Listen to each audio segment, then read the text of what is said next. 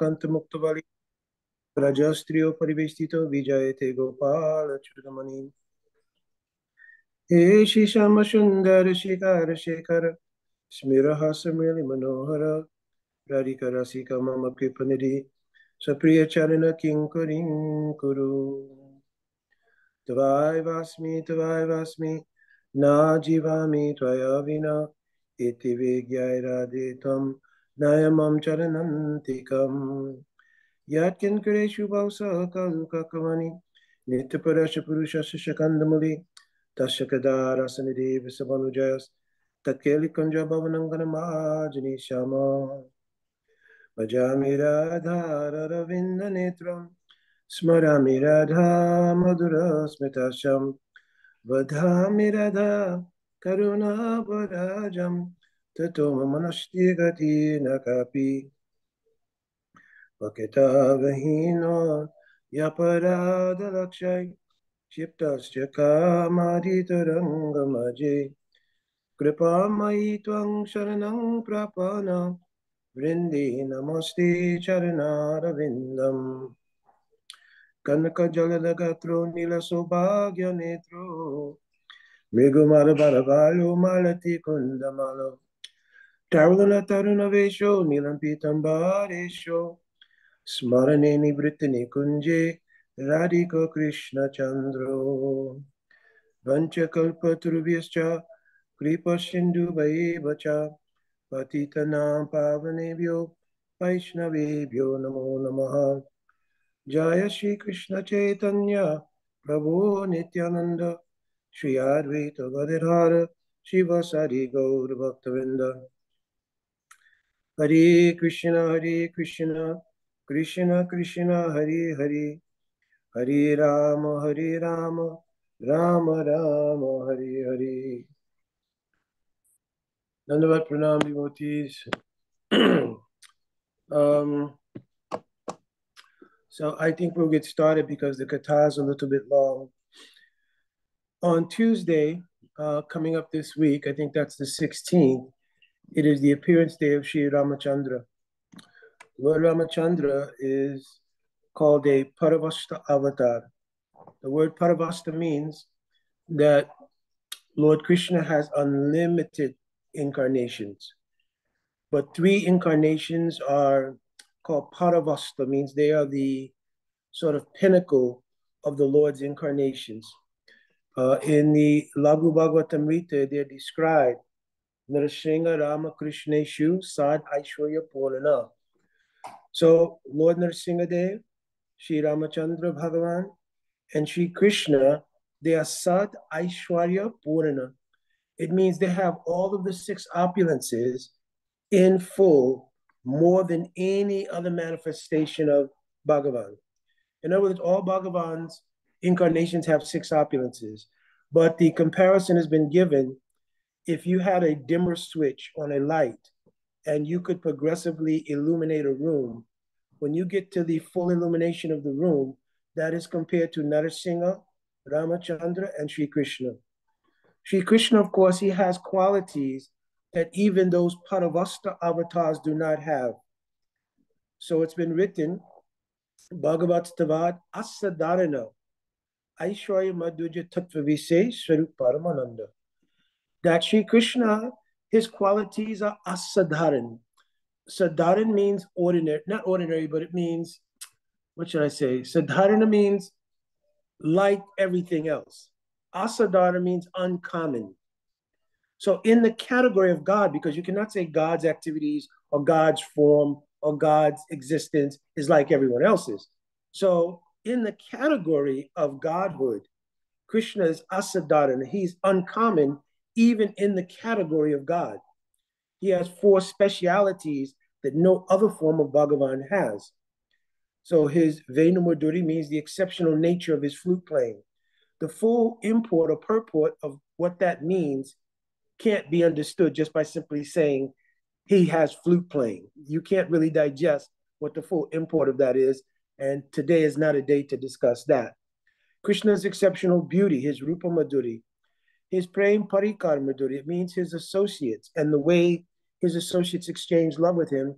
And Lila Madhuri means the pastimes which he performs in order to make the love of those associates, his beauty and his flute playing manifest in a particular pastime. So these four qualities, uh, they are very unique in Krishna. And Aishwarya, Madhurya, Tattva Visesh. The word Aishwarya means power and opulence like God. The ability to have all of that, to have the opulence and power of God, but to cover it with Madhurya. The word Madhurya means a human like sweetness, is a unique quality also in Krishna. Madhurya, Aishwarya, Tattva Visesh, to be able to take these two realities, the word Tattva means realities, and blend them in such a way. Krishna is definitely God, but he's blended his godhood and his human like quality in such a way that it creates the sweetness of the pastimes that we know of related to Krishna. Sri Ramachandra has been described in the Brahma Samhita. Ramadi Muteshu Kala Niyamena Tishtan Nanavatara Akarod Bhuvaneshu Kintu Krishna Swayam Sambhavat Paramam Pumanyo Govindam Adi Purusham Tamaham Bhajami. That the first Ram Adi, the very first incarnation from Krishna is Lord Ram, not in a sequential order, not a historical order. It means ontologically, the first major Leela expansion of Krishna is Lord Ram. If we do not have Dharma established, if there is no idea what is Dharma, Dharma means the ultimate spiritual reality. If that's not established, you don't have a basis to find esoteric or deeper considerations within the context of Godhood. First, it has to be established there's God. And even within the context of Leelas being performed by God, there has to be a Leela in which God is perfect in every single thing. So the Leela of Lord Ram is like that. It's called Maryada Purushottam Leela. Maryada means a high degree of respect because the perfection of every single category of existence is manifest in Lord Ram. And mm, the Leelas he performs, he manifests all of those various perfections. So obviously the source material for understanding the Leelas of Lord Ram are the Itihasa, it means a history. The word Itihasa literally means Iti Ahasa, something written exactly as it happened. Because Srimad Bhagavatam, though it is our main scripture, it is not a history. There are some historical events described, but Srimad Bhagavatam is not a history. It is called a Puran. The word Purana means Pura api navam. The word Pura means old or ancient.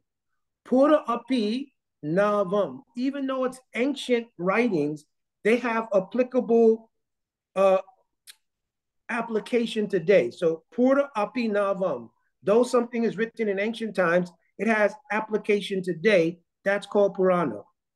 Iti asa means iti ahasa, something that is written exactly as it happened. And there are two main itihasas. One is called Mahabharat. So everybody's heard of Mahabharat. And the other is called Ramayana. The Mahabharata was compiled by Sri Vyasadeva, and the Ramayana was compiled by Valmiki. So Valmiki's Ramayana is the standard of what is Ramayana. Every other commentary, every other excerpt, or every other writing of a Ramayana is based on Valmiki's Ramayana. There are many other versions of the Ramayana.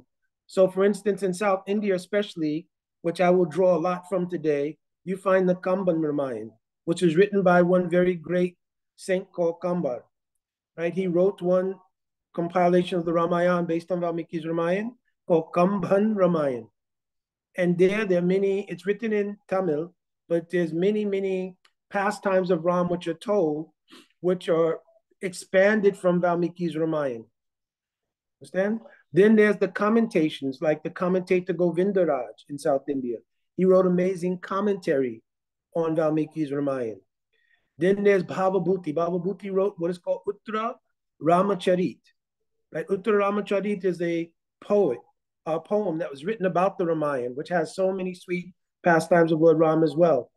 One of the most famous versions of the Ramayana, of course, is Ramcharit Manas, which is written in Hindi by one saint named Tulsidas.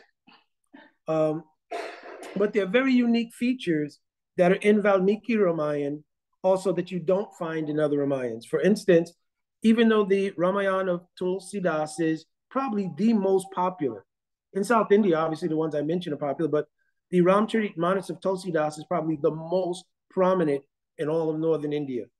And usually anyone who speaks Ramayan Katha speaks from Ramcharit Manas, right? Uh, because actually Valmiki's Ramayana, 24,000 verses, seven different sections, right? It's it's a little bit difficult and it's a Sanskrit work. It's a little bit difficult, but Ramcharit Manas is very sweetly written in Hindi language, common language.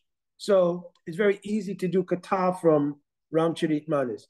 But in the Ramcharit Manas, the Uttarakhand, there are seven different books in Ramayana. Balakan, Ayodhyakan, Aranyakan, Kishkindakan, um, Sundarakan, Yudakan, and Uttarakhand. This book, Uttarakhand, is very special because it sets up the entire template for what goes on in the Ramayana. So it's very difficult to understand the context of Ramayana if you don't have Uttarakhand. You understand? But the Uttarakhand is also extremely painful in some ways. It's much like the section of Shrimad Bhagavatam in which Akrur comes to Vrindavan to take Krishna to Mathura. So Uttarakhand contains the banishment of Sita and other things. So it's very difficult. So a lot of the devotees of Ram, they don't like to recite from Uttarakhand. You understand?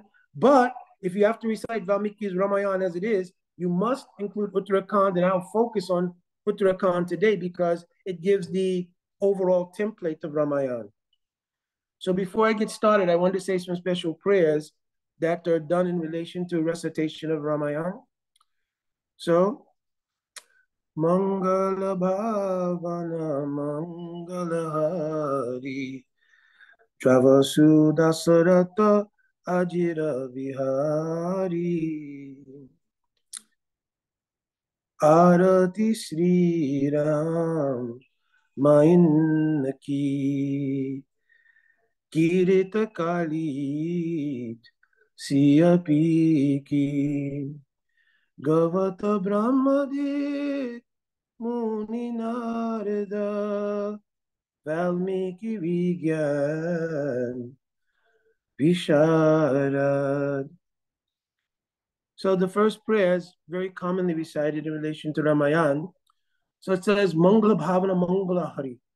Mangala Bhavan means that abode of all auspiciousness.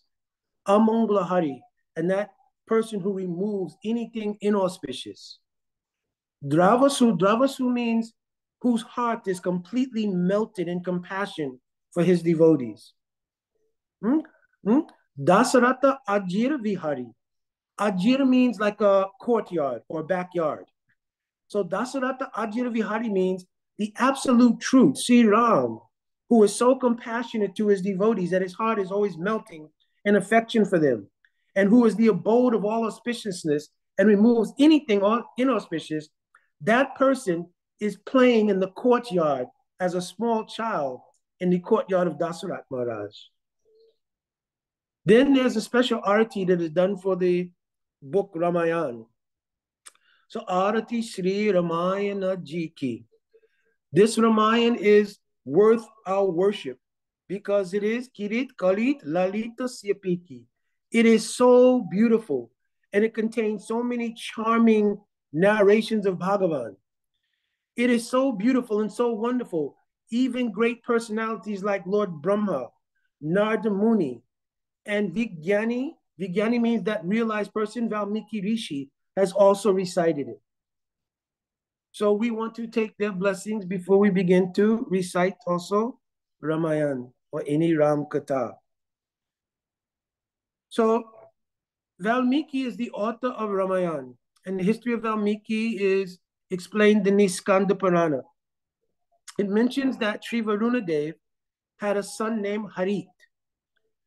Harit was a very small boy and he was very charming. And even all the Devatas, they used to, when they would visit Varuna, they would play with Harit. He was so charming, he was so beautiful. But once the four Kumaras came and they wanted to speak philosophical things to Varuna, uh, Varuna Dev and to the people in the court of Varuna Dev. So while they were speaking philosophy, Harit was playing very nearby and he was imitating all the sounds of various kinds of birds and animals. So the four Kumaras, they became disturbed. You might notice a trend here that the four Kumaras, right, they become easily disturbed by things, right?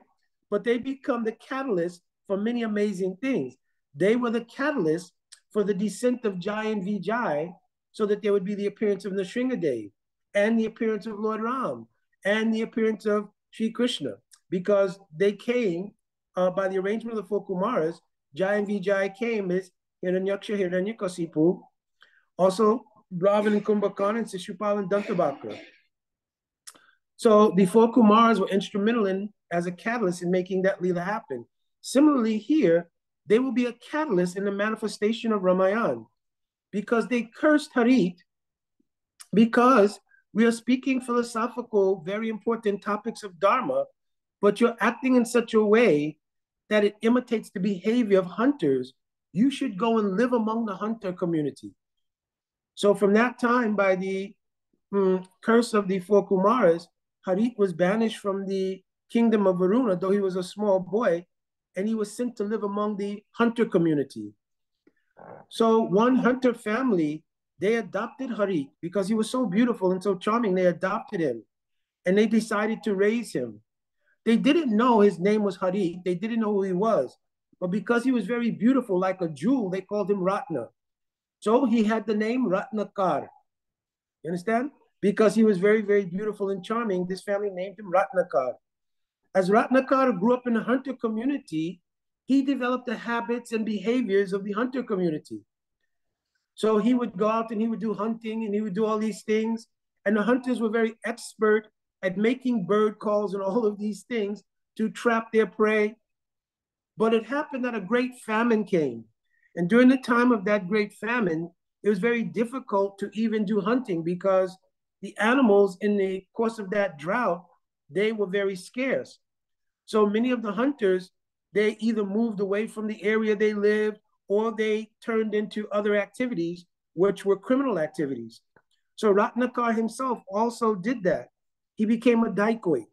So he would rob people, he would do other things, but he would always say, What I'm doing, I'm doing to repay the kindness of my family, my adopted mother and father. Now he had his own wife, he had his own children.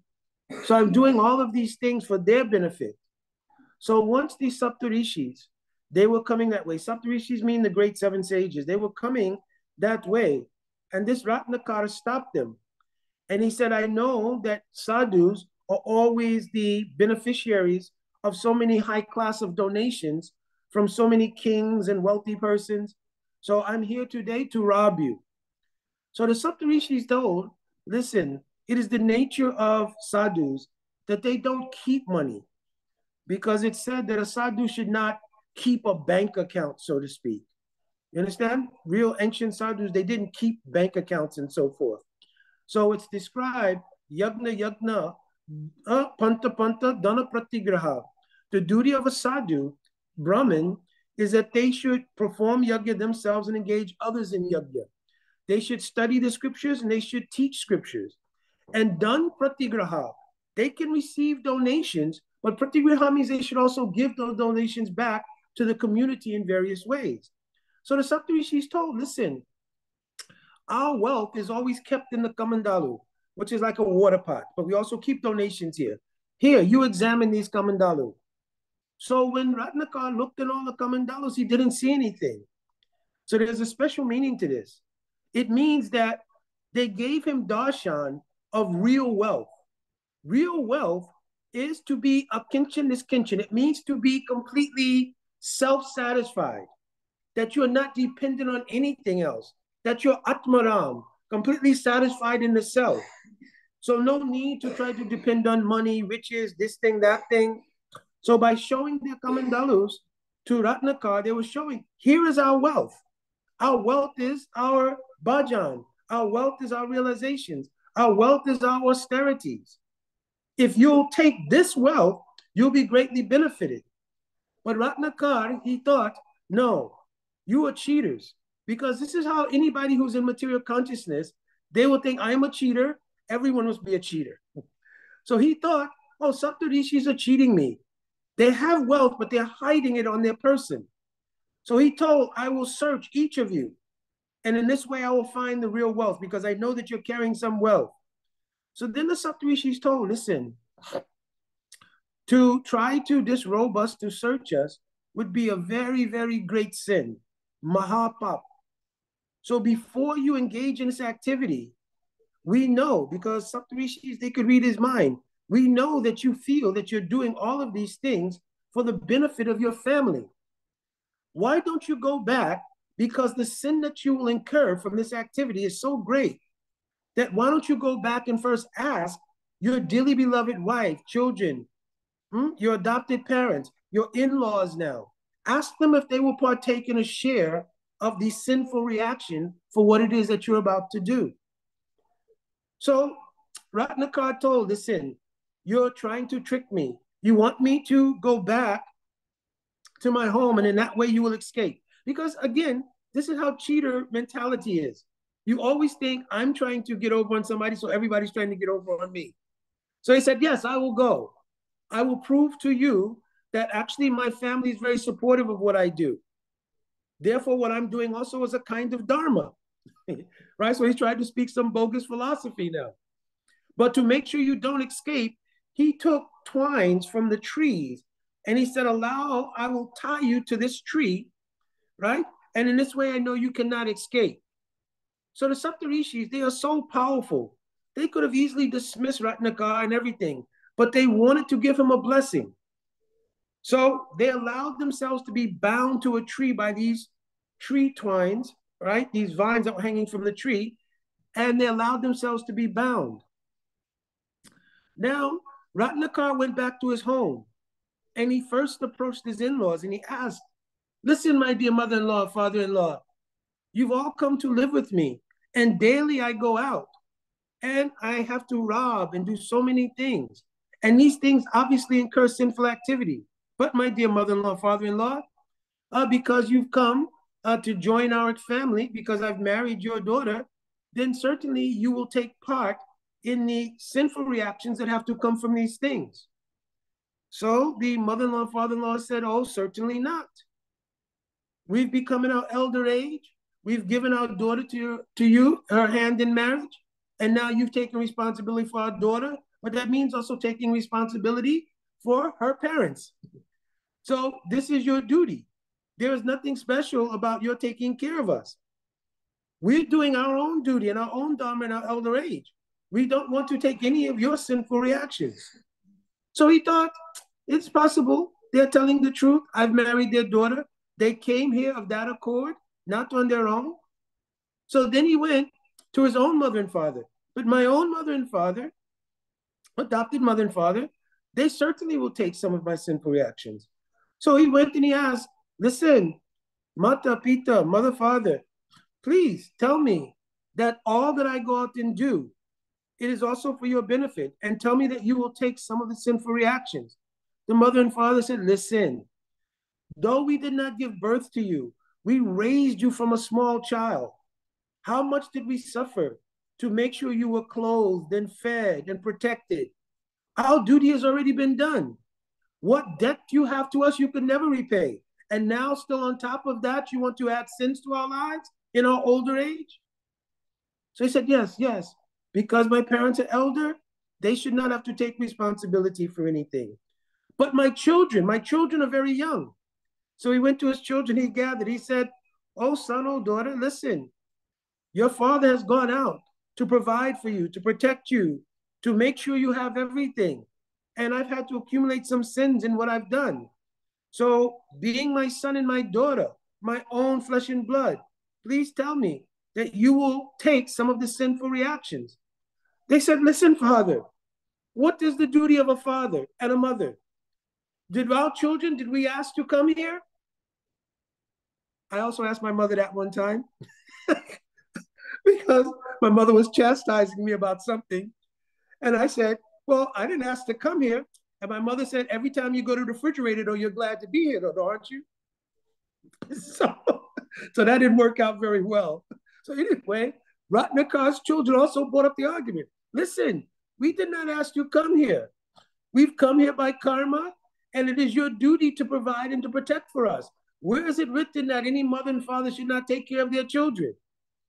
And now you want us to take your sins and grow up with the burden of your sins for what you do? So then our lives will also be inauspicious? So he thought, yes, yes. So my in-laws, they have excuse.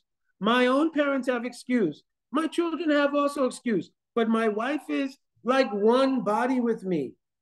My wife, certainly, she will take my sinful reactions. So he went and he told the wife, listen, darling, I've spoken to your parents, I've spoken to my parents, and I've spoken to our children. They all have very valid reasons why they will not share in any portion of this sinful activity that I'm incurring from the activities that I'm doing to maintain our family. But in life, everything we do should be 50 50. So I'm asking, at least you can take 50% of whatever sinful actions come to me as my darling wife, my Dharma Patni, right? You will take 50% of any of those sinful activities in order to give me some relief. The wife told, listen, Dharma Patni means one submissively serves the husband as Dharma, but that Dharma is to Bhagavan. You understand? Dharma to Bhagavat Pranitam. Dharma means to do Dharma towards Bhagavan. So if I'm trying to do Dharma by serving you to do Dharma for Bhagavan, why do you want me to take 50% of sins? How will I do Dharma to Bhagavan if I'm also taking your sins? Do I go with you to the forest? Do I rob anyone? Do I steal from anyone? But when you come home, nicely any meal is prepared. I'm also treating you very affectionately. But now you're asking me to take all of your sins, even 50% of your sins. So then at that time, Ratnakar thought, listen, though I have so much love and affection for this entire family, not even my wife, who's half my body, is willing to take even 1% of the sins that I'm incurring from all of these things. Immediately, he remembered the words of the sages and that they had arranged for him to go back and ask this question. So immediately in his heart, enlightenment came. So immediately he left his house. He was always carrying his bow and arrow with him. But when he left the front door of his home this time, he dropped that bow and his arrows right in front of his home. And going without any weapons, he went back to the place where he had tied the Saptarishis. When he got back, he saw the Saptarishis were all standing in meditation. He said, But I left, I had bound you to a tree. So the Saptarishis then told, Listen, Ratnakar, at that time, we didn't want to disturb you in any way because we wanted you to have enlightenment by your own experience. Therefore, we agreed to be bound, but you have no power to bind us. You understand? That actually sadhus are bound by love and affection of true disciples. They can never be bound by any ordinary means materially, not by money, not by prestige, not by any other thing except pure dedication of any sevak.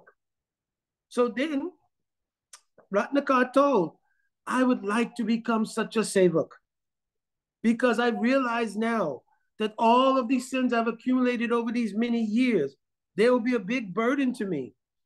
And even now, hmm, even this very minute that I've asked my family to take even a percentage of those sins, they've all disagreed. So, what is the real meaning of family? Family only means, oh, you provide for me, I satisfy you. So it is just like business. There is no real love. In the material world, there's no real love. is only a contractual arrangement. I scratch your back, you scratch my back. So Ratnakar was having all of these realizations. He said, So how will I obtain? How will I obtain true realization? I have the impetus to do it now. The spark is there, but how will it become the flame of actual self realization? They said, Listen, there's one method that you can do which will give you full blown self realization. It is very easy to do because you're coming from hunter community. You may not be able to chant so many mantras. You may not be able to do so many pujas. You may not be able to worship any archa Archavigraha. You may not be able to perform any homa, yajna, anything. But you can chant the name of God. And the best name for you to chant is the name Ram. So two things are proven here. One is that Valmiki and Ram were contemporary because Ram was already born at that time. Israel he was one years old at that time. He was already born. So Saptarishis knew about Ram, and Valmiki was also living at that time. At the time Valmiki will take up his austerities, he's about 40 years old. So now the Saptarishi say, listen, sit and chant the name of Ram with great concentration. Val, uh, Ratnakar told, listen, if I had the power to concentrate, I probably would have never found myself in this condition in the first place. I have no ability to concentrate. My mind was always spinning in samsara. It means I'm always thinking how to get money, how to take care of family, how to get more money. What kind of thievery will I do today? Will I get caught today? Will I face danger today? My mind is always full of these things. I have no ability to concentrate my mind. What to speak? You're asking me to say the name Ram, but I find when I try to bring Ram to my tongue, I can't even say it. So the Saptarishi told, listen, we want you to do two things. One, throughout your history, you've killed many people and you've killed many animals. This is Mara. Mara means death. So you've become very familiar with death. So we want you to recite Mara because it will be easy for you. Secondly, there is a tree hmm, in that part of India. It is also called Mara tree. You understand? It doesn't mean death. It's just a tree. It's called Mara. Sit here, stare at the tree in order to focus so you don't divert your eyes and attention to anything else.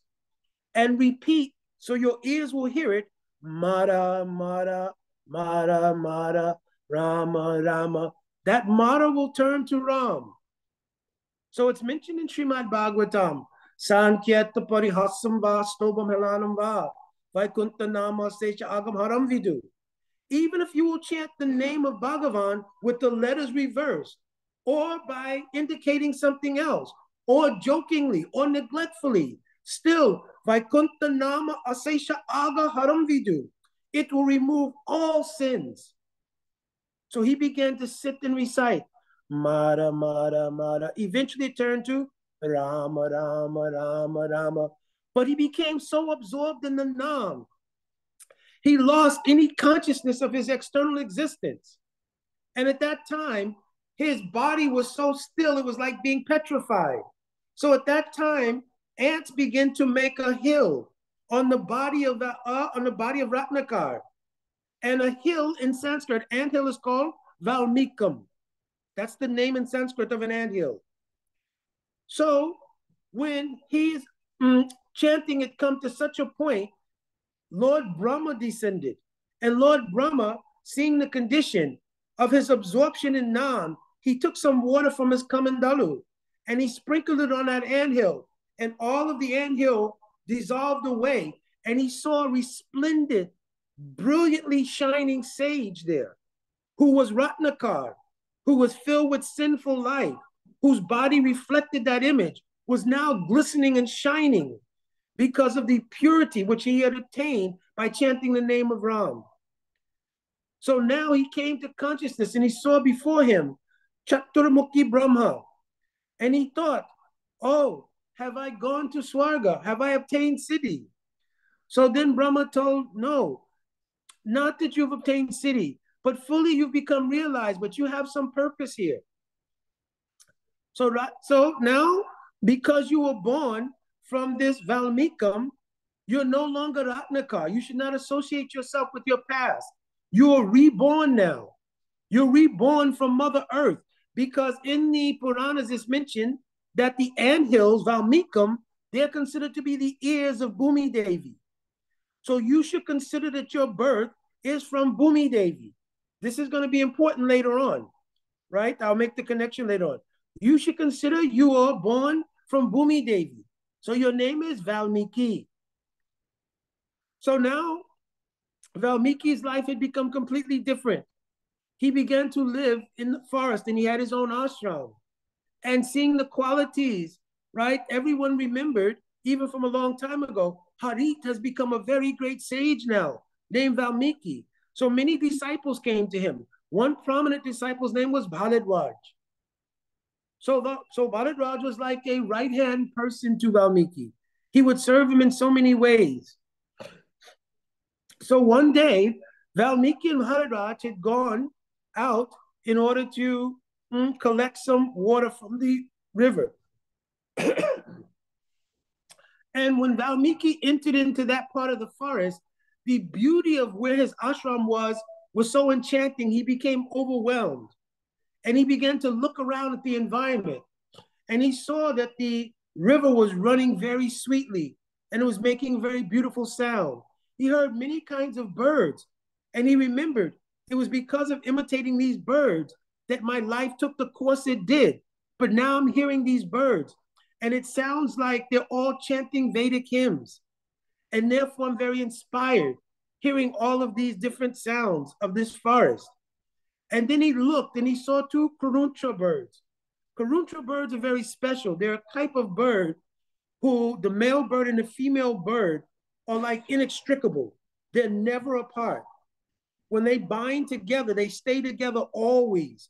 It said that even at nighttime, excuse me, when they sleep, their beaks become intertwined and they sleep like that. So he looked up and he saw these two Karuntra birds, and he noticed that they were in the status of mating. And just as he was observing the entire environment, a sound pierced the air. It was the sound of an arrow, but it was so powerful that made a sound. So immediately before he could think of anything, the arrow traveled at such speed, it struck the male Karuntra bird. And immediately that Karuntra bird fell from the tree and fell into the water just below it. Immediately, the piteous cries of the female Karuntra bird were overwhelming. The entire environment around the ashram had completely changed. Valmiki looked and he saw one hunter there. And he immediately in part sorrow and part anger. He said, Ma nishara pratishtam twagamaha oh, hmm, shashwadi samaha karuntra maitunari ekam avadi kama mohitam. He recited this verse. It had 32 syllables. These 32 syllables are in a chandas. It's in a meter called anushtup. So it says that this was the first time this anushtup chanda, anushtup meter was recited. So we recited in Bhagavad Gita also, Dehinosminyata dehe komaram yovanam jara, etc. So he recited like that. So immediately, manisada, the word man Sanskrit means stop.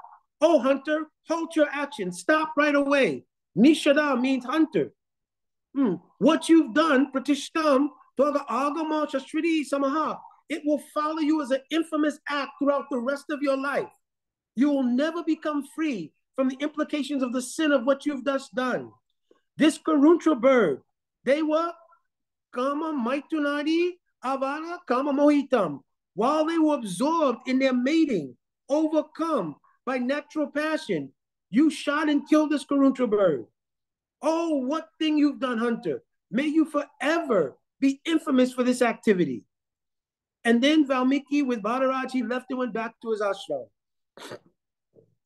As he was back in his ashram, another amazing thing happened. He thought, listen, I may have been a little bit impetuous. As soon as I saw that this hunter killed the Karuntra bird, immediately from my heart came these feelings. It caused me to have a great deal of sorrow. Sorrow is called mm, soka. Soka means like unhappiness. Like Sita, when she was kidnapped, she was kept in what's called the Asok Ban. So Asok trees or a tree under which Sita was placed so that no unhappiness would come to her, even though she was separated from Ram. So Asok means no happiness. Sok means unhappiness. So this soka, this, this unhappiness manifested this verse from the mouth of Valmiki. So it's described that this soka created a shloka, which was the shloka that he recited. Now, simultaneously, remember I told that Ram had already made his appearance. So now, Valmiki had performed austerities for a number of years. And now, mm, mm, Sri Ram Mm, this is after his realization, everything, Valmiki. Ram, when he married Sita, he was 12 years old. Sita was six, right? Because in Vedic culture, sometimes marriages are arranged at that age, right? When Ram returned to Ayodhya, they lived very happily in Ayodhya for 12 years, Ram and Sita together, along with Lakshman and Urmila, all of their maid servants, etc., etc. Of course, Dasarat by that time, he had 350 wives, uh, three of whom were prominent, Kausalya, Sumitra, and Kaikeyi. Understand? So he married 350 wives. So some people ask why.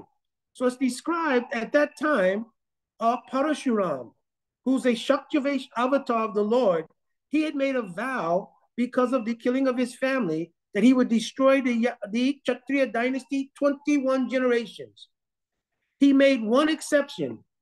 Any Kshatriya king who was celebrating the first year of their marriage, he would give them a pass.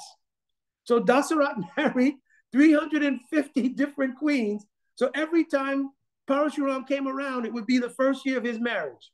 you understand? So now Ram had lived for 12 years very peacefully after marrying Sita there. So Ram was 24 at that time. And his 24th year, at that time, once when Dasarat Maharaj had gone in the morning for grooming himself, while he was grooming himself, he saw one gray hair. And he thought this gray hair is the messenger of the Kal Purush, means the messenger of time personified. That how much longer I will be on the planet, I don't know. But it means that I should take the action now at this time in order to make Ram the heir apparent to the throne. So it was at this time that then Kaikeyi, who had had two boons from Dasarat, Dasarat got the name Dasarat because Indra, whenever sometimes they would be attacked by demons, Indra would call on great warriors from the earth to come and fight the battle. Some say that Indra's real expertise is just in enjoying. He likes movies, drama, plays, dancing. But when it comes to fighting, it's like, I'd rather not. You understand? so he would invite kings to come to Swarga to fight on his behalf. And Dasarat was so expert at fighting on a chariot called a Rath that he could fight in 10 different directions simultaneously. So Dasarat became his name. It was like a title that was given to him.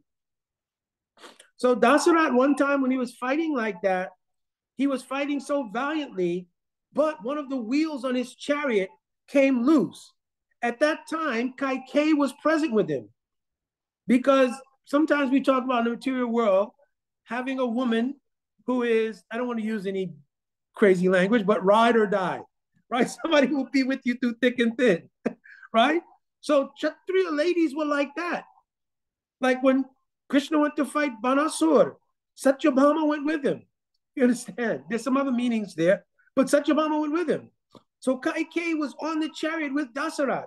And when his chariot broke, and Dasarat was having a hard time coordinating, fighting, managing the chariot, uh, Kaikeyi herself took her finger, put it in the spoke of the wheel of the chariot so the chariot would function properly.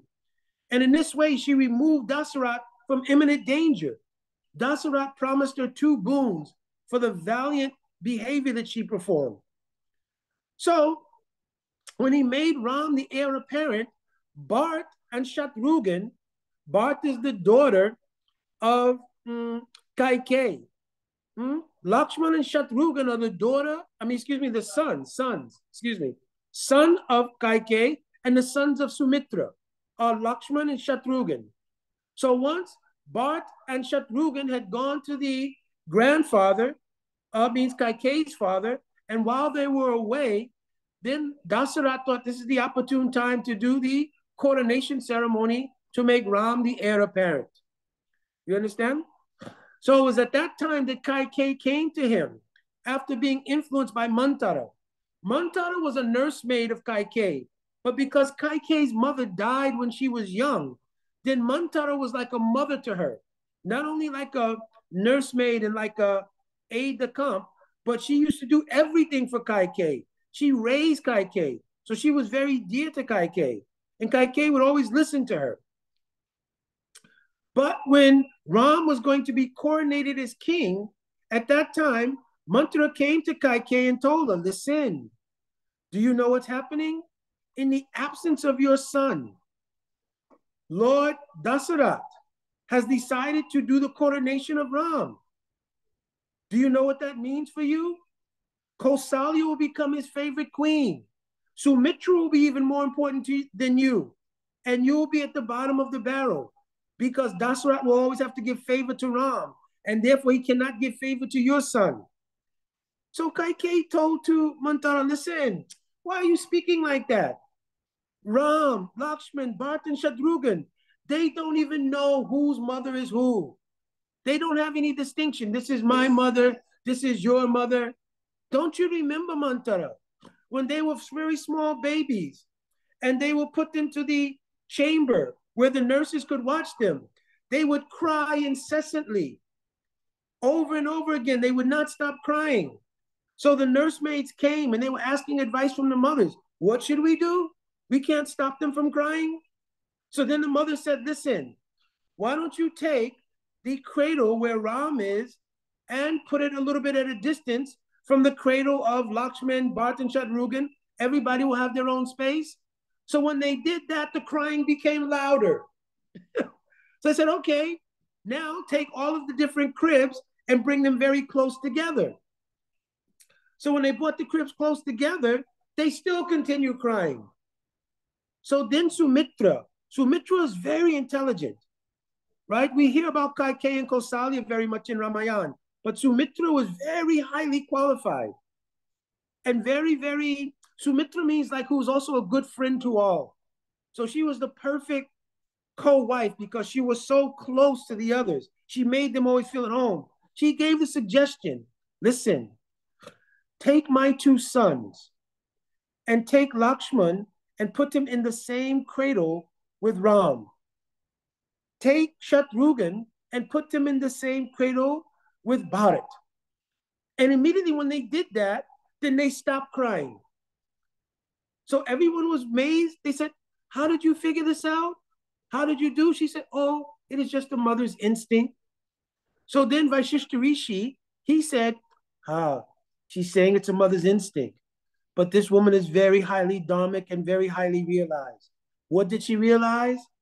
My two sons, if I will put them in the proper dharmic position, everything will be peaceful. What is the proper dharmic position? One should always consider themselves a servant of Bhagavan, and even more, one can consider themselves a servant of Bhagavan's devotee. So she took Lakshman and made him the servant of Bhagavan Sri Ram, and she made Shatrughn the servant of Bharat, who considered himself a servant of Ram. Understand? So Vaishishta brought out this truth about this. But anyway, she was telling to Mantara, why are you considering that Ram and Bharat, Shatrughna, they are all seeing differently. If Ram will become the king, I will also be very happy. So Mantara then began to give her a whole series of arguments, and Kai Kaikeyi would not accept even one of them. Then suddenly, Mantara, almost giving up, she turned to walk out the door. And while she was walking out the door, she turned she said, Yes, I know you don't think about anything in relation to yourself.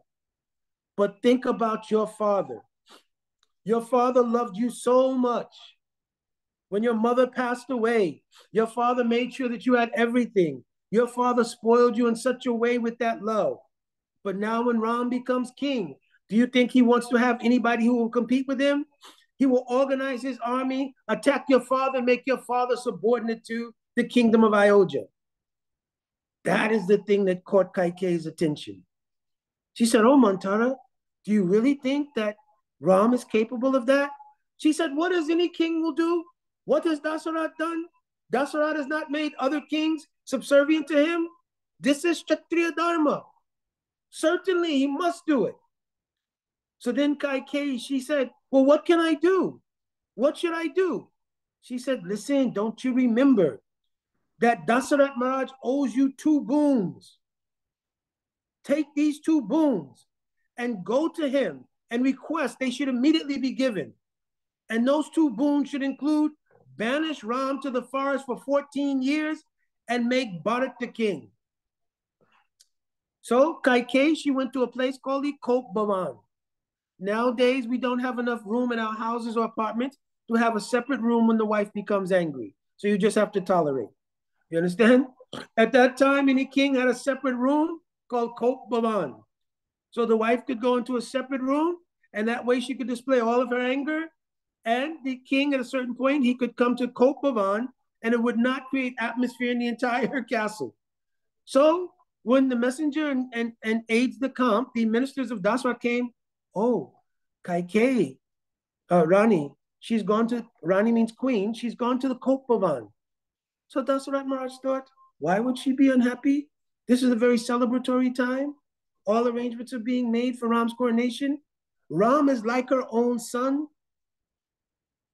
In fact, in the Kamban Ramayan, means the Ramayan in South India, my Gurudev told one time one pastime from there. How did it even come about that Kaikeyi would think about using these two boons. Actually, it wasn't just from Mantara. Actually, when Ram was a very small boy, maybe two years old, two and a half years old, he once was on a picnic with Mother Kaikeyi. And Mother Kaikeyi was playing with him and just rubbing his cheeks and showing him so much affection. And Ram's face suddenly became very grave. And he said, Listen, Mata, because he used to call all Mata. He said, Mata, listen, please promise me that you will do two things for me. And then immediately Kaikeyi said, whatever it is. What do you want? Do you want any sweet? Do you want any special preparation? She said, no, Mata. I want you to promise me two boons. First, tell me you will promise me. She said, of course I will promise you. If you want that I should bring Chandra Dev for you to play with, I will do it. Chandra Dev means the moon. So he said, No, I want that when I will become of age to become the Yuvaraj, means the king in waiting, that you will ask for me to be banished to the forest and that your own son will be king. So Kai Kaikeyi, she was so confused. First of all, he's only two and a half, three years old. What is he talking about? So she said, Listen, you're being around your father and you're hearing all of these royal kinds of dealings. Don't think about anything like that. Tell me what you want. I will give you anything. He said, No, Mata. Very seriously, no, Mata. Please, you promise me only these two boons. She said, Listen, you are two and a half years old. What will happen when you are 14, 15? Who knows what will happen at that time? What to speak of when you're of age to become Yuvraj? Don't think of any of these things now. Only think of playing. You're living in such royal opulence. Anything that you want can be had. He said, If you love me, he used this word, if you love me, you will promise me these two boons.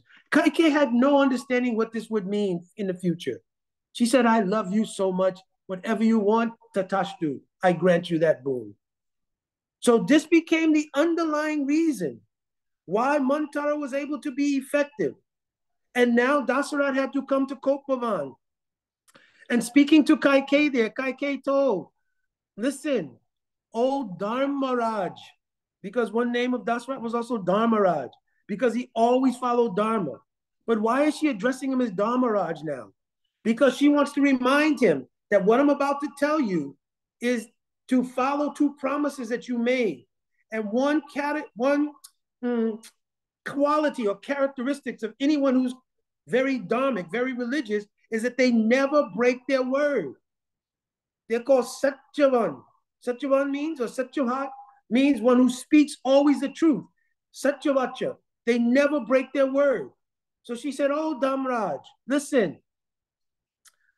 At that time when you were fighting the great battle, and mm, out of my love and affection for you, I saved your life. You promised me two boons. So Dasarat said, Yes. What is there need to come to Kop Bhavan to get two boons for? You could have requested me at any time in any place. I will grant you anything you want. You name it. Tell me what it is. Right away, I'll have my ministers take care of it. Even if you ask me personally, I will myself go and get it. She said, Listen, I want that you should make my son Bharat the king. Dasarat's whole complexion changed, his whole demeanor changed. His arms fell to his side. He said, Listen, why would you not? You love Ram so much. Everybody in the kingdom loves Ram. They have no less love for your son. But Ram is the elder. Ram is first son. All of the kingdom, they love Ram. Why would you do like this? She said, and you should banish Ram to the forest for 14 years. Dasarat, he opened his mouth to reply, but nothing came out and he fainted. So then Kaikeyi, she became extremely angry. She said, Oh, just look. That person who was so valiant, so viryavan, means so strong and powerful, they could fight even demons in heaven. At the request to follow through with a promise made to his own wife, he's so weak he faints. So then she began to use abusive language. What kind of king are you? What kind of Dharmaraj are you? So then Dasarat awakened slightly and he began to try to plead to Kaikeyi. Why? Why? For what reason do we need to banish Ram? Even if we make Bharat the king, Ram will serve him. This is Ram's nature.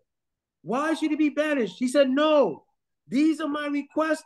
They are non negotiable. She then said, Will you fulfill them or not? And Dasarat, he kept stumbling and, and, and stuttering. And he was, Kaikeyi, Kaikeyi. She said, I need to hear you say yes or no. If you will say no, then we can know for sure you are not Dharmaraj. You are not in the line of Ikshvaku, Mandhata, and other great kings of the dynasty of the Suryavanks. So I will know my father was cheated when you came as a representative of the Suryavanks and asked for my hand in marriage. Tell me truthfully, O king, can you keep your word? Dasarat, very low voice. So be it. At that time, when he said, so be it, his own life came out in his words.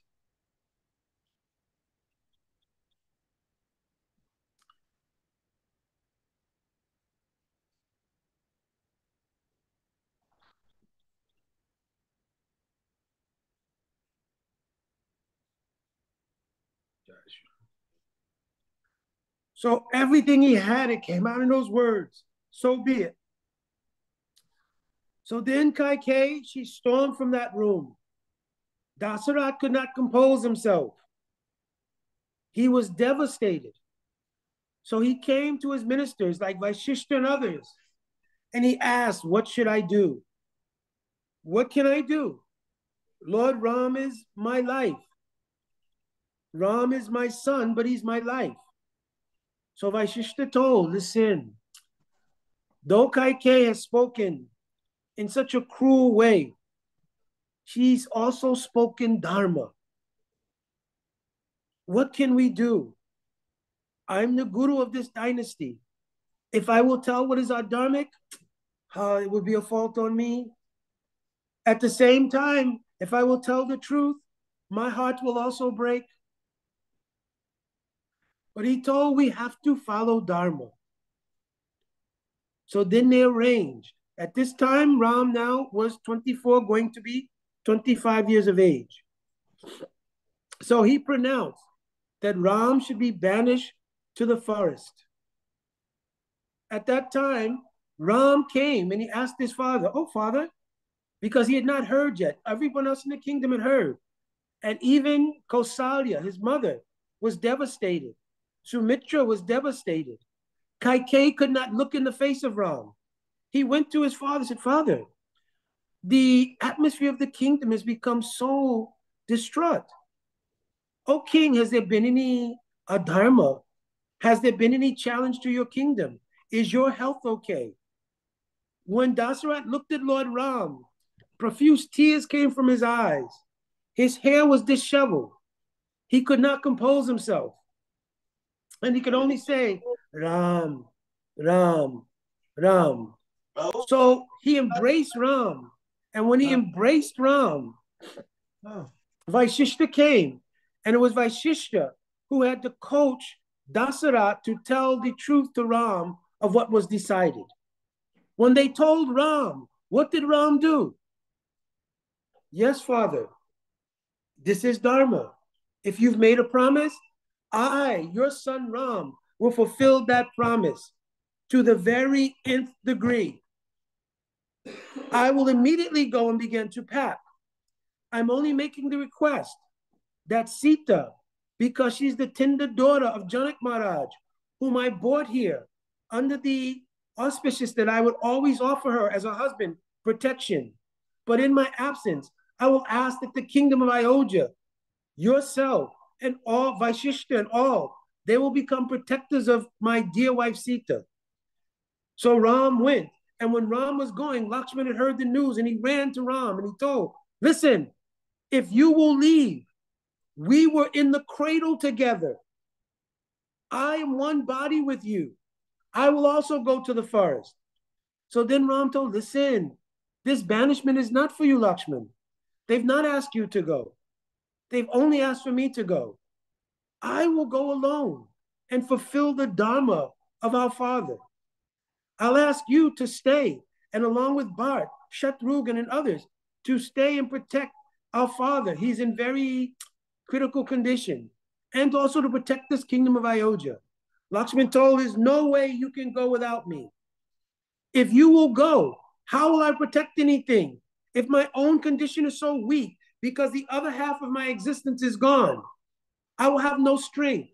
My strength is because I'm tied to you in a bond that was there from the beginning of our childhood.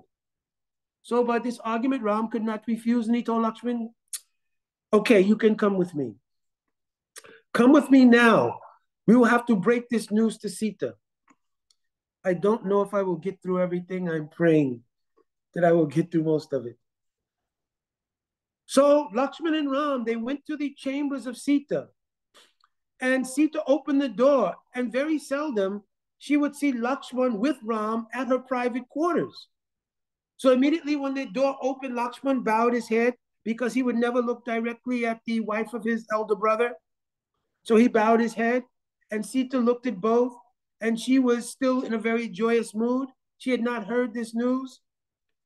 So she told Listen, Ram, why have you come here just now? You should be busy in getting prepared for your coronation. I've also been very busy speaking to all of my maidservants who came with me from Janakpur, who came me from Mithila, from Janakpuri. And I was telling them all about our newfound fortune. My husband will be the heir apparent. I will be the queen in waiting. We're having such good conversations, good talks. So then she looked on the face of her husband. Any wife who's truly Dharma Patni, they don't need to hear like any true disciple. They can look at the face of Guru and they can have indication, mood, everything.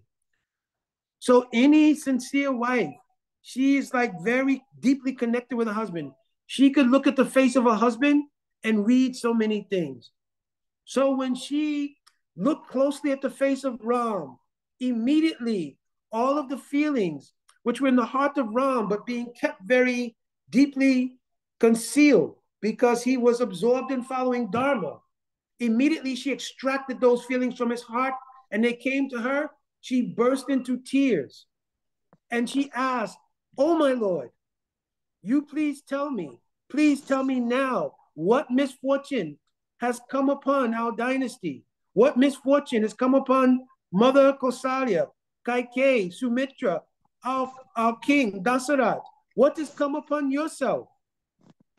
So that time, Ram told, listen, in order to keep the glory of this dynasty, the Suryavans, we are all the embodiment of Dharma. My father made two promises to Kaikeyi, and Kaikeyi asked for the fulfillment of those two promises. But I beg you, Sita, do not have any ill will towards Kaikeyi. What she did, she did in the interest of love of her father. You understand? Please don't hold any ill will. Kaikeyi is really a hero in Ramayana. If it was not for Kaikeyi, you understand? This past time of Ram going to the forest would never have taken place. So she accepted one of the most difficult services in the entire Ramayana. When Bharat and Shatrughan returned to the kingdom and found out what happened, Bharat first went to Mantara and literally beat Mantara. He then went to the chamber of his mother and he opened the door and he said, Oh, daughter of King Kekai, from this day forward, I will never ever address you by the word mother again. You understand how painful this must have been? You understand? So Ram told the Sita, please do not hold any ill will towards Kaikeyi. She said, No, I have no time to have any other feelings. I must quickly prepare. When do we have to leave? So then Lakshman, he turned his head towards Ram. And Ram told to Sita, Oh Sita, I will be banished to the forest. There are many unknown dangers in this forest. When I came to marry you many years ago with Vishwamitra, do you know at that time I had to kill the demon Taraka, Subahu, and I shot one arrow and banished that Marichi very far away. I had to kill so many demons who were attacking the sages. There were many ferocious animals. There is no comfortable bed. There is no shade from the sun. There is no shelter from the rain. She told, listen, everything you described is not more dangerous than the absence of my husband from my side. Shelter can be made to protect us from rain. Your arms are very powerful. You can protect us from wild animals and even the greatest of demons. At 12 years old, you killed the great demoness Tarka. I'm not fearing any of these things. But if you are gone to the forest and I remain here, who will kill the demon of loneliness for me? Who will kill the demon of the absence of service to my husband? Who will kill the demon of my constant thoughts about you, which I will never be able to remove? Can you kill those demons from being banished in the forest? I don't need a comfortable bed. I do not need the comforts of royal life. What I need is the love and affection and savor of that person whom I married many, many years ago in Mithila when he lifted up the bow that no other king could lift. I need to be by the side of that husband. This is called Dharmapatya. She then quoted a series of women who were Dharmapatyas. She said, Do you think I'm less than any of these women? Ram was dumbfounded.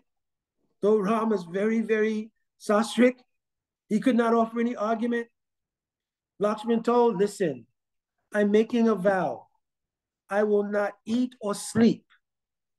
I will dedicate these 14 years to the service and protection of you and Sita. Ram said, So be it. On that very day, Lakshman, Sita, and Ram, they left to go to the forest.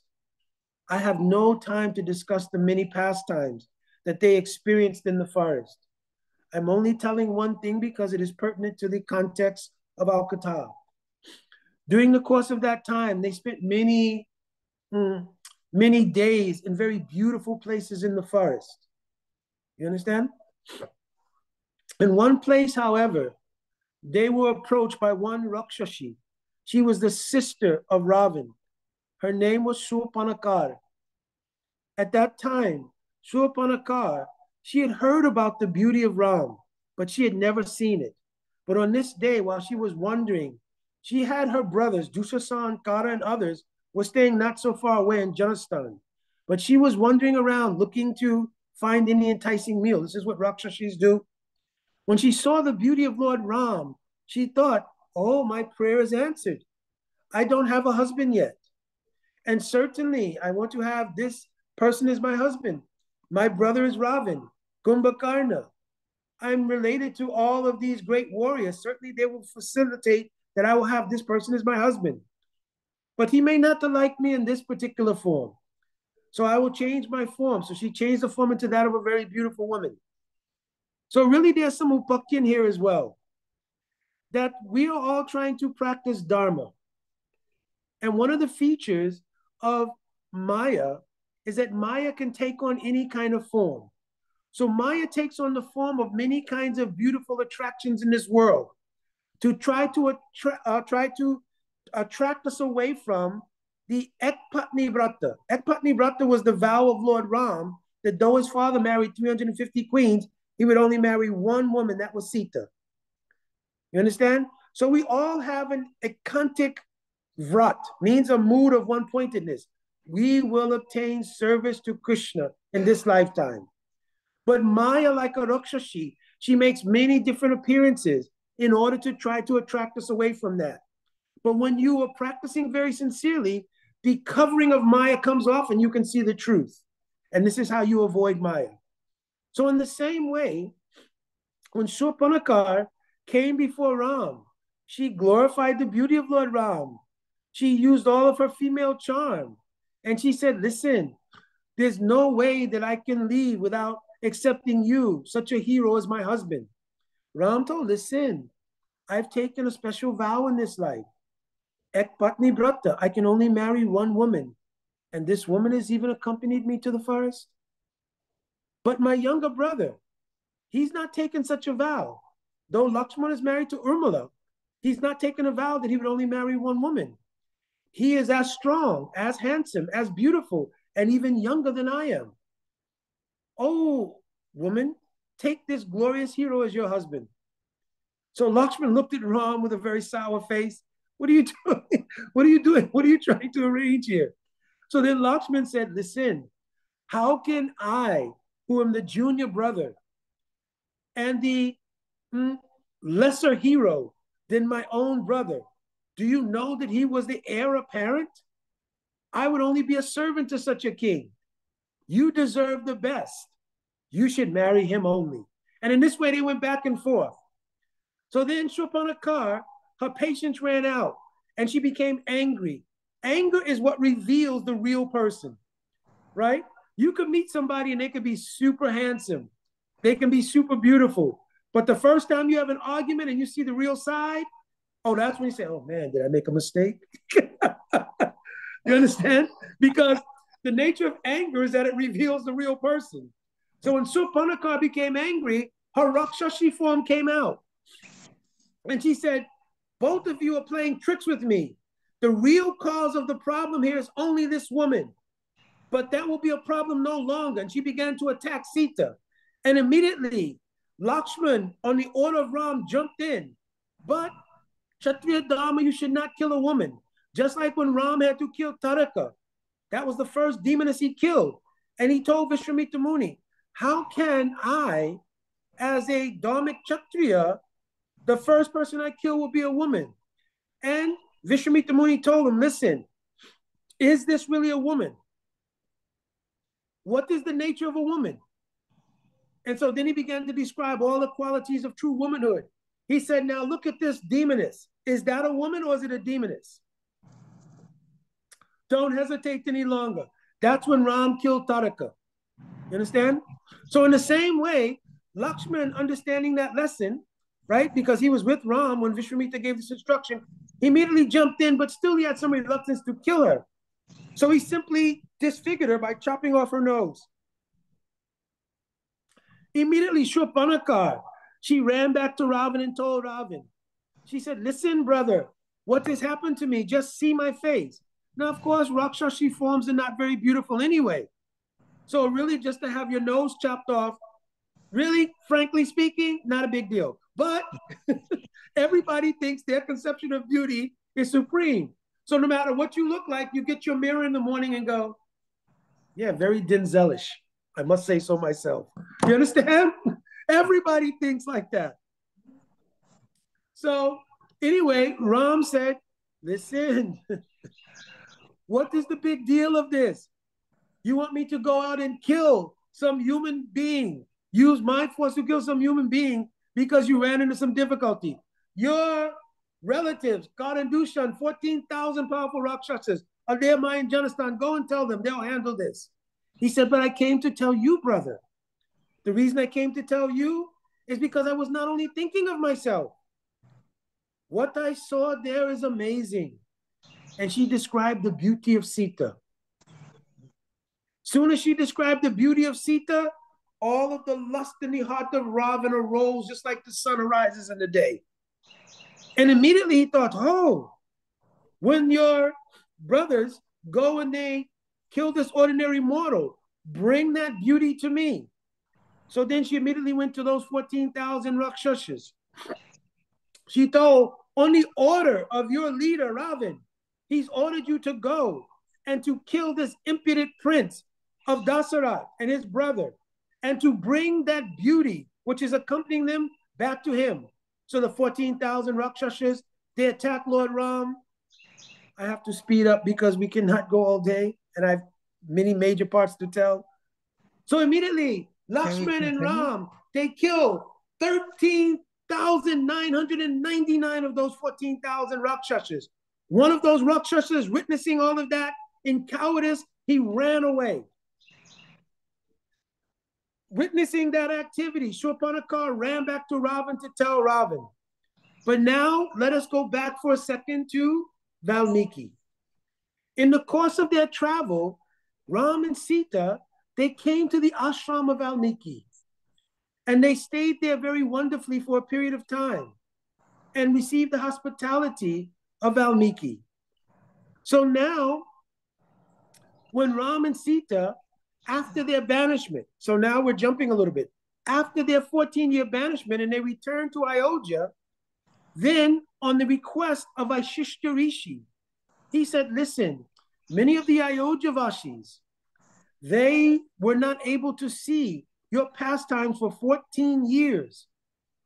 Call all of the artisans, call all of the sculptors, and allow them to make a special museum which will be the housing of paintings and bas reliefs and carvings of all of your activities during your 14 years of exile. So Ram said, so be it. He called the best of artists, the best of ministers. In a very short order of time, they built a wonderful building. It was magnificently constructed. And there, there were many paintings, bas reliefs, sculptures, waterfalls, things that imitated the places like Chitrakoot, where Ram and Sita visited many beautiful places. So on the day that it was opening, those artisans and ministers, they told Ram, oh Sita, Ram, Lakshman, please come and see. Bar, Charu, come and see the beauty of this museum. So Ram and Sita, they were going from one painting to another. They finally came to a painting of the ashram of Valmiki. And around the painting, there were carvings, waterfalls, different things. And Sita at that time was approximately 35 years old. So now, after they had returned to Ayodhya, after the 14 years, within those two years, she became pregnant with Luv and Kush. You understand? They were in her womb. So when she came to the painting of the ashram of Valmiki, the remembrance of the time they spent there inspired her. So she spoke to Ram and said, Listen, this kingdom of Ayodhya is very wonderful, but it is like a city. And there's so many city dynamics here so many soldiers, warriors, so many different ministers, so many different royal affairs. Do you remember how peaceful the ashram of Valmiki was? Would it not be wonderful that when I give birth, my sons would be able to be raised in an environment like that? So this is one thing. So Vaishishta Rishi, she, he then sent a message uh, to Lord Ram. The messenger came in and said, Oh, good day, Rani, meaning to, to Sita. Oh, good day, Lakshman. Good day, uh, King Ram. Oh, Ram, I have a message from you from Gurudev, Siva Rishishtarishi. So Ram took that message in private. He said, Listen, Vashishta Rishi has told, whatever Sita Devi utters, you should promise her on this day that you will fulfill that promise. He's looked at all of the uh, astro- astrological configurations. This is a most auspicious day to grant any boon for any desire of Sita Devi. At the same time, another minister came in and he told to Ram after greeting all of the royal family, Oh, uh, king, may I have a word? So that messenger or minister then told to Ram, Listen, while I was wandering in the kingdom and listening to the sort of mood of the residents of the kingdom, I came across one washerman. He was in a very heated argument with his wife. His wife had gone out and had gone to her father's home and had stayed out overnight and then came back. So the husband was saying, Listen, do you think I'm like Ram? You can leave my home, stay away from my home overnight, then return. You can say you went to the house of your father, but still, you should never spend the night away from my home because apparently the wife did not tell. Maybe it got dark and she could not return. So in this way, the minister went back and said, listen, if this Dobiwala, this washerman, is having such feelings, suppose this idea gets to others. So then Ram thought, yes, it's my duty to protect the dharma of this family. But I cannot ask Sita to again perform the Agni Pariksha, means to be examined by fire. When I was in Lanka, I asked her and she proved her chastity but I cannot ask her to do that here. Moreover, that Dobiwal and others could never ask such a thing.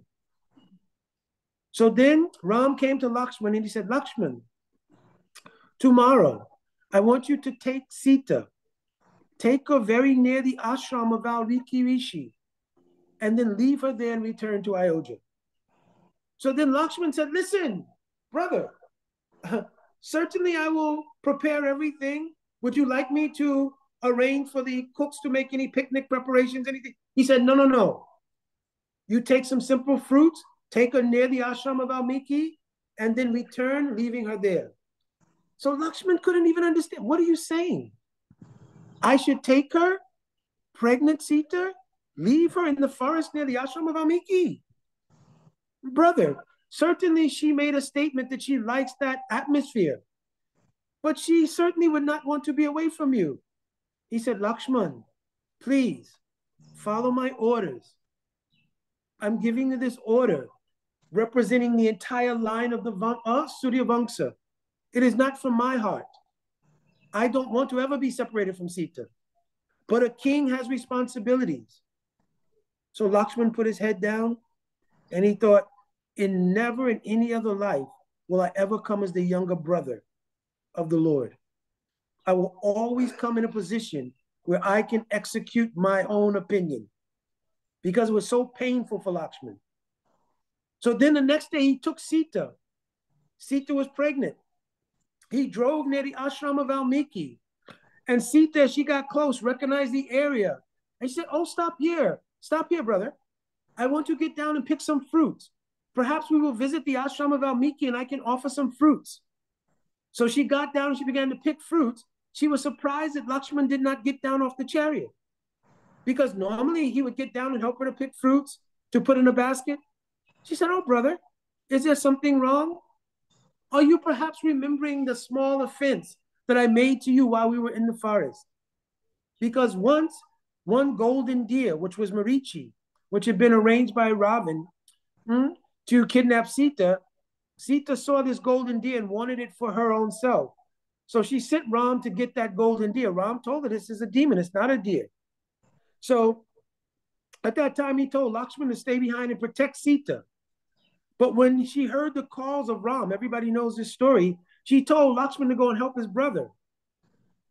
Lakshman told, My brother is capable of defeating thousands of demons. You saw yourself how he defeated all those Rakshasas when he was a young boy he's fully competent to protect himself. So then Sita said, Listen, I think perhaps you don't mind if he's killed because then you can have me for yourself. So this was very painful to Lakshman. So then Sita was thinking, perhaps he's remembering this, and now being back in the forest, he's holding it against me. So Lakshman, he didn't even raise his head. She said, Oh, please forgive me, my brother. We've had so many years pass since that time. Certainly, you must have been able to forgive me. So Lakshman spoke and said, Oh, my dear sister, it is not at all anything to do. I, in fact, never took offense. I understood your love for Ram and your desire for his welfare. I am distressed because my brothers told me to leave you here in this forest. So Sita, she didn't weep one tear. She didn't express any anger. She said, Listen, Lakshman, you are as dear to me as like a son almost. Don't for one second have any feeling of heart that you somehow or another have done anything wrong. You are the younger brother, and you are the servant also of a king. But I'm requesting one thing. Please look at me. But Lakshman could not look at Sita. She said, No, I realize that even when we're in the forest, you would never look above my ankles because you are such a chaste brother and you consider me such a chaste wife. But look only at my belly. And when you look at my belly, understand that the sons of your brother are there. So I only want, do not express anger, sorrow, or anything that will disturb him, but only ask one question. Because I know he's trying to carry out Dharma. Ask him if he learned this Dharma from any guru like Vashishta that one should abandon his pregnant wife in the forest. When Lakshman heard that, he broke down into tears and he hit the reins of the chariot and the horses took off. Valmiki Rishi came out because he heard this kind of exchange and he took Sita back to his ashram and he was completely bewildered. Now, the question could come Valmiki Rishi is a very great saint, and here is a pregnant woman. How can you keep any woman in your ashram of all brahmacharis and so forth, so on, right? But Valmiki actually had a section where there were some ladies, but still, this is the pregnant wife of someone else. How can you keep them in your ashram? Remember, I told that Valmiki was born from Bhumi Devi, right? He was born from the Valmikam. These are the heirs of Bhumi Devi according to Puranas. So he's called Valmiki because he's the son born from the Valmikam or the ears of Mother Earth. Sita also means that daughter who was born from Bhumi Devi. So Valmiki and Sita are like brother and sister. So dharmically, there's no problem that Sita could stay in the ashram of Valmiki. So now Valmiki, he arranged for the care of Mother Sita and he arranged for other ladies to help her because she was pregnant. He arranged every day that different fruits and vegetables would be given to her and that the uh, other ladies there could serve her. But he was so curious. Wow, I thought Ram was like the perfect person. How is it possible he could have banished this lady to the forest? When he was thinking like that, he remembered the person who can answer all kinds of questions. Here begins the very first verse of Valmiki's Ramayana. He says, Swadhyaya Nirantaram Tapasi Vagvaram hmm, Vagvita Vadvidamvaram Nara Paripapracha Valmiki Munipungavam. He recites this verse. That person who is tapasvi, means to realized what is the true meaning of tapasya. What is the true meaning of tapasya? It means saranagati or entrance into bhakti. This is the real meaning of the word tapa. I can't go into detail here because already we're very late, right? So he's addressing Narada. Tapasvi swadhyaya nirantaram. That person who's always immersed in the study of bhakti and who uh, tapasvi Vagvidamvaram, who's always speaking the knowledge of bhakti to everyone. Narada, that person is the most fit person, paripapracha, to ask questions about Lord Ram and to clear my doubts. Valmiki Puni uh, Munipungavam. Myself, Valmiki, I will ask my questions to this great Rishi. At that time, Narada Muni appeared there and he asked, Oh, Narada, listen, tell me, Kon Sampratam Loke Gunavam Viryavam Dhamagya Kritagya Satyavrata um, uh, mm, Dhiravrata Charitra mm, Charitra mm, Savabhuteshu Kohita mm, Vidvan Samaarta Kasha Aika Priyadharshanam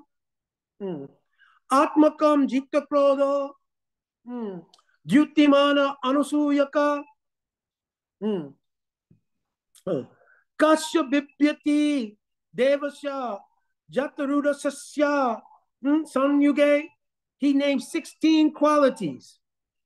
And in these 16 qualities, he said, Listen, tell me, Gonashmin Sampratam. The word Sampratam means tell me that person who's living now, not in the future, not in the past. Tell me a person who's living now, who has the 16 great qualities. What 16 qualities? Gunavam. The word Gunavam means he has the quality of Soshila. Soshila. Soshilata means who's very compassionate, who has empathy for others. Soshila. And Viryavan, who's very powerful, very strong, both of mind and body. Dharmagya, who is very dharmic. Kritagya, who's very grateful. Then he also told Satyavakya, who never speaks untruth, and who's Dritavrata, who always accomplishes what he sets out to do. And as he named those first qualities, then he thought, hmm, even to have these qualities in one person is very extraordinary. Charitra, one whose character is so high class. Go yuktasha, savabhuteshu, kohita, a person who always thinks about the welfare of others and who feels himself yukta, connected to them. He doesn't feel himself above them. Vidvan, who's very learned. Sama Artha, who's completely accomplished in everything they do. Then Kasya Aikya Priyadarshanam, that person who is so beautiful, it is unanimous. Right? Even if you have Mr. Universe competition or Miss Universe competition, somebody will say, Well, I don't think that person is that beautiful. But in Ram, every single person who saw Ram thought, Aikya Priyadarshanam, this is the sole person whom everybody seeing them thinks he is the most beautiful person in the world. Atmavan, who's completely self-controlled. Jita Kroda, he's conquered anger. Dyutimana, his influence on others is very great. Anasuyaka, he has no envy of anyone. Then, hmm, Kashyapipyati Devascha, all the Devas, when he becomes angry, even the Devas fear him. Who is the person who has these 16 qualities? My wife is telling me to calm down. so, who is the person who has these 16 qualities? What person? Even even Draupadi, in her previous life, when she wanted to get married, she prayed, Oh Lord Shiva, can I have a husband who's all beautiful, learned, dharmic, powerful, right? So she ended up having to marry five different men to get that accomplished. So now, how to find 16 qualities of perfection in one person? So Narada Muni took some time to answer. He knew the answer, but he said, Listen, your questions are very good. These questions are very beneficial for you. In fact, these questions are very beneficial for the world. But here is the name of that person whom you're asking for. Ikshvaku Vanksha Prabhavo Ramanama Janai Shrita. That person whom everyone, Jana Shruta, you can hear it from the mouth of everyone, not just me. That person who is the Prabhav means the greatest influence in the dynasty of Ikshvaku, meaning the Surya Vamsa. His name is Ram. Immediately when he said that, Valmiki took two steps back. What? You're telling me the person who just dropped off his pregnant wife in the forest is the person who has these 16 qualities? I know he stayed with me for some time. I thought him to be very dharmic, but you're telling me he has all the 16 qualities of a perfect person. Can we, can, can we click on? Haribol, somebody asked me that. How can we rationalize that this person would do such a thing? So he said, listen, your thinking, Ram, is ordinary. Your thinking is ordinary. So I don't have time to go through all 16 qualities, but I'm telling one thing. He told, listen, he has the quality called Dridhavrata, means he anything he sets out to do, he never stops until he fully accomplishes it. Do you remember, Valmiki, that once when you were walking in your ashram, you saw one hunter and you saw that hunter kill a Krauncha bird. And when you saw that hunter kill a Krauncha bird, you became very sad and you cursed that hunter. That hunter was himself Lord Ram. That Krauncha bird was the 14,000 of those 13,999 that he killed. The one escape was called Akampana. He took the form of a Krauncha bird with his wife and was hiding incognito. Ram took the form of a hunter to complete the task he did not fulfill. So then Valmiki became even more upset. He said, Oh my gosh, so you're telling me now that I cursed Bhagavan? because I told, Ma nishara pratishtam, Tava agamaha chashvati samaha. May you live in infamy for the rest of your life. So then Nad Muni said, No, you did not curse him. Listen carefully, Valmiki. Ma means goddess Lakshmi. Nishada means the place on the chest of Narayan where Lakshmi resides. So she's called Ma Nisada because she always resides on the chest of Lord Narayan. His fame, Pratishta, will be forever known in the world because you will write the history of his manifestation called Ram. Ram and Sita are like two Krauncha birds. They are inseparable. And when they were separated by the kidnapping of Sita by Ravan, the great epic of Ramayana that you will write will tell the story of their great love, and it will forever be famous in the world, not infamous, but famous in the world because you will write it. So actually, your curse was actually a glorification of the Lord. So then Lord Brahma appeared there and he said, Yes, I will testify that what Nod is telling is the truth because I myself became the tree that those two Krauncha birds were standing on. So now Valmiki said, But listen, I did not see the early pastimes of Ram. I only saw Ram when he visited my ashram. I also don't know what happened after. How will I understand these things? So Brahma gave him a benediction. Prakashtam, Hmm. rahasyam prakasham, karanadrisam. When you look at the palm of your hand, all of the leelas and confidential meanings of those leelas of Ram will appear in your hand just like a TV screen. And you'll be able to write Ramayan. So, so many pastimes in Ramayan to tell. There's 24,000 verses. At the beginning of each thousandth verse is the Gayatri mantra. One syllable of Gayatri mantra is present in the first verse. Then, when you get to verse number 1,000, the second syllable when you get to 2000, that third syllable, and on and on, for 24,000 verses, you have 24 letters which make up Gayatri. So while chanting the Ramayana in full, one also chants the Gayatri mantra, which gives revelation of truly the pastimes of Ram.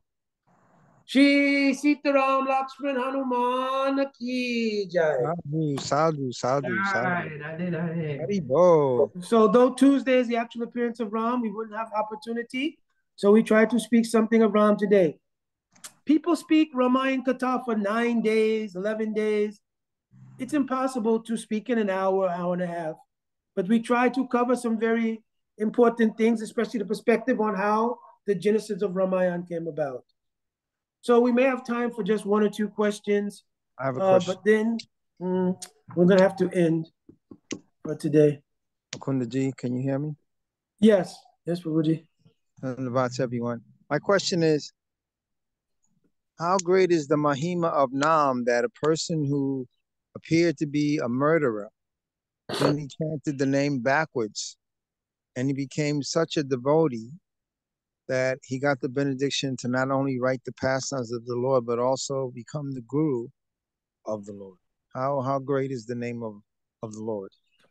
Yes, I quoted that verse. Sankyat parihasam vastobam helanam va vaikuntanam asesha agam haram vidu. So asesha agam means unlimited sins of all kinds. Haram hmm. vidu means it removes all kinds of sins. Even if it's chanted by indicating something else, to give a hint, Sankyat, parihasam, jokingly, uh, stobam, even if the, the, the words are not in the right order, helanam, even if it's neglectful chanting, still it can remove all kinds of sin. And the real secret to this to Valmiki's being able to obtain realization was the blessing of Saptarishis and the blessing of Nard, blessings of Brahma. And actually, the curse of four Kumaras was a blessing. You understand? Just like when they cursed Jay and Vijay, it was a blessing because Jay and Vijay ultimately become uh who is it? Um in Gaura Lila, they become uh Jagai and Madai. Jagai Madai. And they receive the highest class of praying. So by Nam, we could say that by chanting Nam, eventually you'll get sadhu sangha and the blessings of the sadhus and then enter into Krishna's lila. Or vice versa. By bhakti and mukhi sukriti, some pious activity performed, you get sadhu sangha. Sadhu gives the nam. Right. And inside that nam is all the sadhu's blessing. Mm-hmm. That nam becomes very fruitful. Without sadhu's blessing, nam cannot bear fruit. Jai. Jai. Thank you. Mukunda. Yes. Um, just one thing I wanted to ask you. Um, how wonderful it was that because of Kai K, this all started. And there mm-hmm. was a reason why this happened. You never mentioned that. Oh, I did. I told two stories, one from Kamban Ramayan. Guru Dev tells the pastime, and I asked Guru Dev, because it's not written in Valmiki Ramayan. So once I asked Guru Dev, the story that you tell that Ram, when he was a small boy, asked Kai Kaikeyi to grant him the two boons of being banished and making Bharat the king, it's not written in Valmiki Ramayan. Right. It's not written in Ramcharit Manas. So where is it written? Mm-hmm. So he said, oh, there are so many versions of Ramayan. It's written in South Indian Ramayan. Then Pujapad Madhav Maharaj told, yes, it's written in Dakshin Ramayan. Dakshin Ramayan, I think, refers to Kamban Ramayan in Tamil. And so that narration is told there. Yeah. So this is the reasoning why the underlying reasoning is the will of the Lord why Kaikeyi did this. The external reason is Manthara influenced her that Ram would eventually, under the natural activities of a king, eventually want to conquer the kingdom of a father. Right now, they were like allies because of the marriage. Right. But of course, after the death of Dasarat and his son takes over, maybe political intrigue will come in. Mm-hmm. So that became the way that Kaikeyi was convinced. Right. The internal one was just just as amazing when I found out when Good Gurudev gave this. Yes. Unbelievable. My wife is asking one question. Oh, I just want to make a comment. Yes. another um, example of Dharma Patni mm-hmm. is um, Lakshman's wife, Urmila, who yes, for the whole time he never ate or slept. Right. She ate and slept for him. Yeah, my wife made a very, very good point. That Lakshman, I told you, he took a vow that he would not eat or sleep for those 14 years. He would dedicate himself to protection. But his wife was also a Dharma Patni. Her name was Urmila. She agreed that not only would she accept the separation of her husband to do this service, but that everything she ate and every time she slept, it would not be for herself, but it would be dedicated to the health of her husband.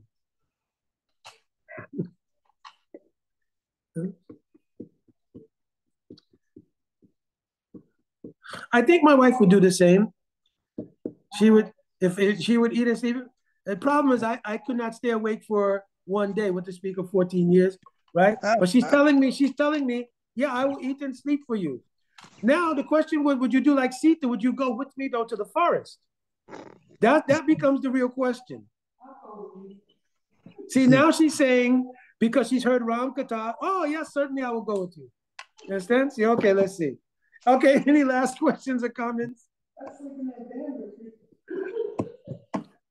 Uh, Dhanavad Pranam Prabhuji. Um, I wanted to ask uh, regarding something a little separate. Nowadays, right now, they're also celebrating Navaratri. Srila Gurudev has mentioned that there's no real basis for this. Um, that really it's just, uh, you know, as you said, the nine days speaking Ram Katha until actually Ram Navami. Mm-hmm. So can you also speak a little bit on um, the, you know, I don't know the necessarily the origin of speaking the nine days, um, but how that somehow got converted and misconstrued into. I'm not. I'm not sure, but the Navaratri festival itself, uh, I think, actually originally had something to do with when um, Ram returns to Ayodhya, and there's also a festival at that time. Now, that may be have been conflated also with because when Dasarat approaches King Romapad and he gets Rishishringa to come to do the Kampwit uh, Kama Putresti Yagya, right? A Putra, Putra Kamesti Yagya, I'm sorry, right? That when there was an idea that the sons would be born, right? And after their birth, that there was a celebration. So I'm not sure which one of those two things became conflated. But I remember when Murari Bapu came when I was preaching in Africa, I asked a question because we do Bhagavad Katha for seven days. I asked, why is this a nine day katha? And they mentioned about Navaratri and they mentioned that the katha is done for nine days in celebration of Navaratri as well. But I never understood what was the origin, so forth, so on. This was my guesses. I would not hold it to gospel, but I'm not exactly sure where it originated. But it is a definite thing and many people use it to speak Ram Katha during that time. Thank you. Hare Krishna Prabhuji. Prabhuji, I have heard Srila Gurudev has told about, like, I don't know, remember the name of that uh, person, but in Bengal, there was a person, um, like a couple of years, maybe 100 years or like 150 years back, he mm-hmm. started saying about like uh, about Devi, uh, like uh, when the the people used to say about Ramayana and all those. He said, uh, "No, there is a Devi who uh, like worshipped. Uh, we should worship for nine days, and like Ram also used to worship that Devi, like Durga." and that's mm. how it started about this Navratra. There is the name of that person. I don't remember what Srila Gurudev has mm said about that. But that was mm-hmm. how it started in, Bang, Bang, in Bengal.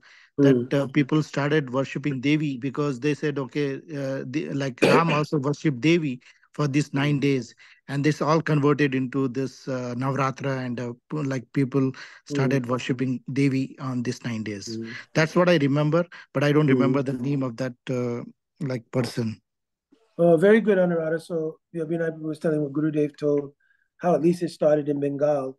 Um, sometimes traditions like that won't spread so far and wide, but very well could be that it spread from there and spread into other places where it's where it's done like that. Uh, one last thing also is, of course, for us, the culmination of Ram's Leela is that during the time of Ram and Sita's banishment, you know, they did come to Navadvip Dham and they came to the place called Mamagachi. That's the birthplace of Vrindavan Das Thakur. And in that place in Mamagachi, they were sitting together and Ram was smiling. So then uh, Gurudev told that, that Sita asked, Oh my Lord, why you're smiling? You seem to be very enlivened about our visit to this place. Is there anything special here? Then Ram tells that in the future, after mm, my next avatar, the avatar after that, I will come here in the form of Chaitanya Mahaprabhu. And at that time also, we will be separated. And just as when I wanted to perform a yagya in our lila, right? Uh, once we return to Ayodhya, of course, he's going to do a lila where he has to make deities of Lord Sita. So he says, the same way, in the future, due to great separation, out of Neem, a golden deity, not gold, but made from Neem, right? A golden deity in color will be made of me. Or was it actually gold? Will be made of me because when I take sannyas, you will also be there as Vishnu Priya. So Sita will become Vishnu Priya. And in the form of Vishnu Priya, she'll suffer great separation from the Lord, just as the Lord suffered great separation when she was taken to Lanka. And in order to console her, he asked her to make a deity. So Gurudev tells this last pastime regarding Mahaprabhu and Sri Ramachandra. All right, I think we're we've really gone way over time, and I don't want to take everyone's day. So I think we'll end here. Anuradha Diti, Anuradha Diti, you can do some kirtan, maybe Ram kirtan. Hmm. Short, very short. Ram Siya Ram Siya Ram Siya Ram. Ram Siya Ram Siya Ram Jai Jai Ram. Ram Siya Ram Siya Ram Jai Jai Ram. Ram Siya Ram Siya Ram Jai Jai Ram Hare Krishna. Oh, Oh, go ahead. go ahead. No, no, that's fine. Jai, I was gonna say, one of the reasons I tried to study Ramayana a little bit, because my Gurudev in his early years was very much absorbed in Ramayana. And Gurudev always, even into his latter days, had such deep affinity for Ramayana. He would sometimes watch the Ramayana uh, videos and he would cry profusely watching these, these videos. I think Vinay, anyone where Gurudev has stayed can attest.